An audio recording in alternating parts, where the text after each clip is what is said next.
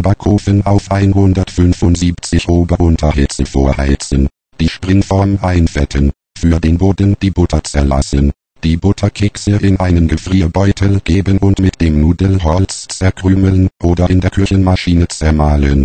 Die Kekskrümel mit der Butter verrühren. Die Masse auf dem Boden der Springform festdrücken. Für die Käsemasse etwa 300 Gramm Frischkäse mit 1 Esslöffel Zucker und der Speisestärke verrühren.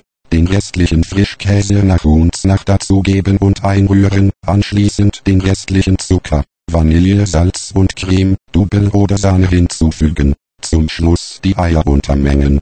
Die Käsemasse auf dem Boden in der Springform verteilen. Im Ofen auf mittlerer Schiene etwa 60 Minuten backen. Der Kuchen sollte fest sein. Klammer auf in der Mitte, darf er sich aber noch etwas bewegen, wenn man gegen die Form stößt. Der Kuchen,